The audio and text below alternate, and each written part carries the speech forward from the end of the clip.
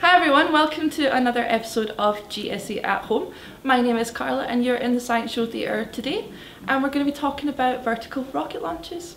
So vertical rocket launches are allowed to happen thanks to a thing we know called Newton's third law. Now Newton's third law means that every action has an equal and opposite reaction. So essentially, all that force that comes out the bottom of the rocket by burning all that fuel allows the rocket to propel away at 40,000 kilometers per hour and leave Earth's atmosphere and go into space.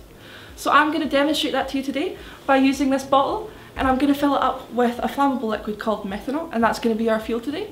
Because it's going to be a little bit of methanol in this massive bottle, the oxygen is going to have a lot of surface area so that's going to create quite a lot of force and we're going to see this rocket shoot off vertically.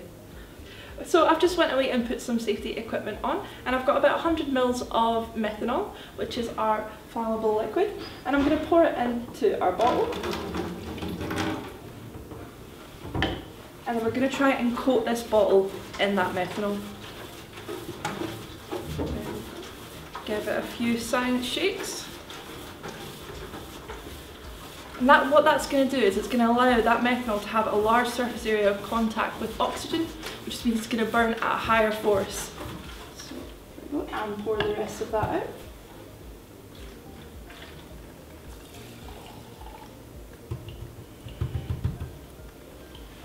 And what we've got here is our rocket launcher. So I'll try and set this up. There's a bit of handiwork involved here.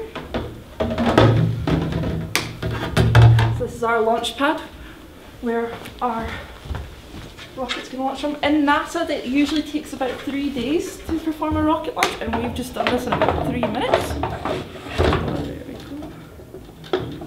Secure that.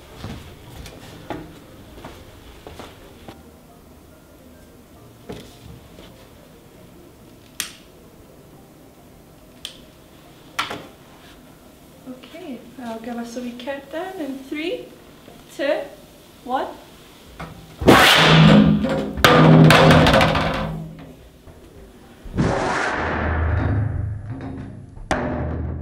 Thank you for watching GSC at home today. If you have any suggestions for what you might like to see next, please feel free to leave us a comment below. Until then, see you tomorrow for more GSC at home and stay safe.